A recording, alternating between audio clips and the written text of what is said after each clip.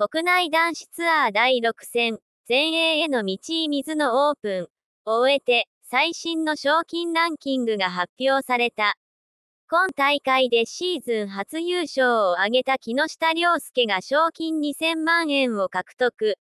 今季通算を3775万5324円として、6位から2位に浮上した。桂川優斗は3位タイの賞金520万円を加算。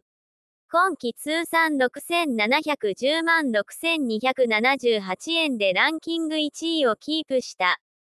3位からは金谷拓3613万5972円。杉浦優太、2678万359円。米沢連、2268万9000円。と続いている。石川遼は38位タイの賞金46万円を上積み。ランキング33位、443万2299円をキープした。